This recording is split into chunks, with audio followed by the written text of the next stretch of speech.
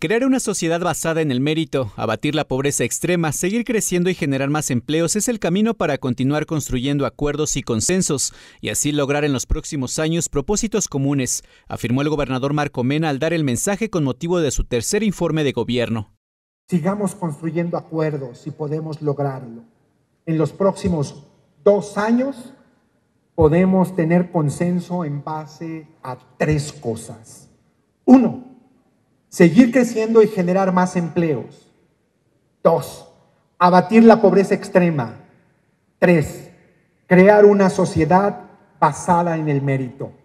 El gobernador Marco Mena anunció cinco medidas inmediatas para lograr este propósito, la puesta en marcha del nuevo modelo nacional de policía, el fortalecimiento de la Procuraduría, la inclusión de personas con discapacidad a empleos formales, el fortalecimiento de capacidades institucionales de municipios y la creación de un nuevo componente del sistema estatal de becas. Anuncio que mi gobierno creará la beca Superación Familiar. Esta beca se pondrá en marcha en 2020 y se otorgará a todos aquellos estudiantes tlaxcaltecas del tercer año de preparatoria cuyos padres cuenten solamente con la primaria o menos años de educación. Ante Olga Sánchez Cordero, secretaria de Gobernación y representante del presidente de México, Andrés Manuel López Obrador, Marco Mena indicó. Sigo pensando que los tlaxcaltecas podemos elegir entre dos caminos. Uno, seguir luchando día a día por lograr solo nuestra propia gobernabilidad. Esto significa dedicar toda nuestra fuerza para contener o desactivar nuestros propios conflictos.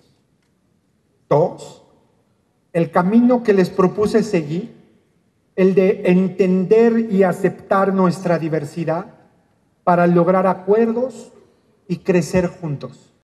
En el Centro de Convenciones de Tlaxcala, el gobernador Marco Mena enfatizó que durante los próximos dos años de la administración estatal promoverá la llegada de más inversión a Tlaxcala para que el empleo crezca. En materia económica, Tlaxcala ha crecido consistentemente a una tasa mayor del 4%. Además, tanto en crecimiento económico como en crecimiento industrial, se ubica en segundo lugar nacional.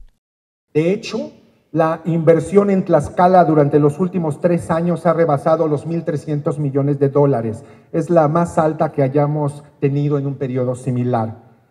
Sin embargo, lo importante es que el crecimiento económico está generando más empleos. Actualmente Tlaxcala registra el número de empleos formales más altos de toda su historia. En materia de obra pública, la inversión en este rubro se orientó a la construcción y mantenimiento de infraestructura y se refirió hacia la modernización de la carretera Tlaxcala-Pizaco. Esta es una de las obras de mayor magnitud realizadas en el estado en décadas. Es vía de comunicación troncal de Tlaxcala y conexión regional del Golfo con el centro del país y el Bajío. Hasta ahora se han invertido 783.8 millones de pesos, provenientes de programas estatales y federales de desarrollo regional. La modernización del Estadio Tlahuicole es otra de las obras emblemáticas de su administración. El estadio se inaugura este viernes y quiero agradecer a nuestro paisano Carlos Rivera, muy distinguido, que para esta ocasión dé un gran concierto en estas nuevas instalaciones. Como cierre de las actividades de conmemoración de los 500 años del encuentro de españoles y tlaxcaltecas, el gobierno del estado brindará este concierto de modo gratuito. Adicionalmente, se ha hecho un esfuerzo presupuestal para que los municipios mejoren su infraestructura y equipamiento. En todas estas obras hemos cuidado los recursos públicos. Invertimos el dinero de los tlaxcaltecas con transparencia y de hecho, de acuerdo al INCO, Tlaxcala es el tercer lugar nacional en buenas prácticas de gobierno. Además del IMCO, la Secretaría de Hacienda y Crédito Público nos reconoce como el único estado que no tiene deuda. Incluso, incluso la agencia calificadora Moody's otorgó a Tlaxcala la calificación AA3 en la categoría inversión de grado superior del grupo de alta calidad crediticia. En el campo, subrayó que se facilitó el acceso a fertilizante, semilla y fungicida en beneficio de 14.000 productores, con una inversión de más de 58 millones de pesos, 10% más que el año pasado. Por otro lado, informó que el programa Supérate ha afiliado al 95% de las personas en condiciones de pobreza extrema multidimensional y ha entregado más de 3.500 tarjetas bancarias en beneficio de más de 10.000 personas, quienes ya recibieron los apoyos monetarios correspondientes a los meses de agosto, septiembre, octubre y noviembre. Tlaxcala en los dos primeros años de este gobierno se ubicó como el tercer estado que más redujo la pobreza en todo México y casi 33.000 tlaxcaltecas salieron de la pobreza extrema. En el rubro educativo destacó los beneficios del sistema estatal de becas a través de los componentes Tu Prepa Terminada, Los Mejores Mil, Beca Gobernador y las becas para estudiantes que viajaron a China y Chicago y anunció la ampliación de los apoyos internacionales.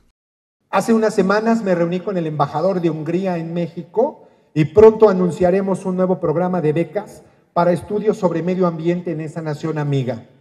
También instauraremos un comité independiente que seleccionará a estudiantes de excelencia para hacer un curso certificado en la Universidad de Stanford en California.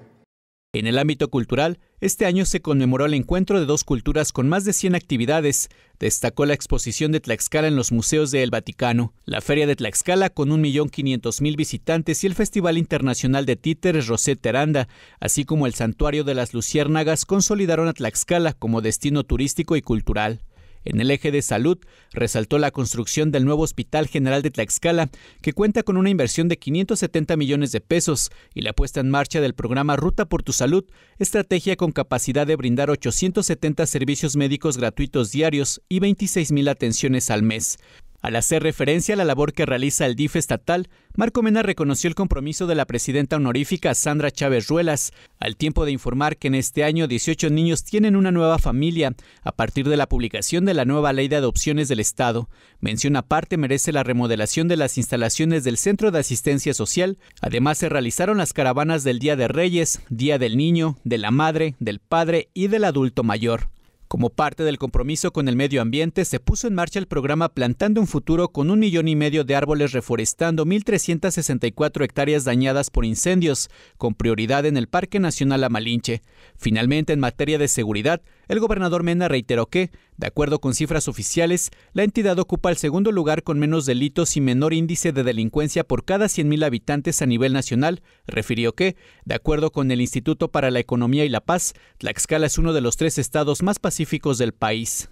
La semana pasada entregamos un histórico lote de 200 nuevas unidades de las cuales 175 son pickups doble cabina y 25 unidades Explorer Interceptor, el auto patrulla de mayor tecnología en el mercado. Para Tlaxcala, esta es una inversión sin precedente en materia de seguridad. Para lograrla, hicimos un esfuerzo con presupuesto de dos años. Las patrullas se compraron enteramente con recurso estatal. Vamos a seguir invirtiendo en equipo, capacitación y mejorando las condiciones de nuestras policías, bomberos y custodios. Morales, ahora noticias.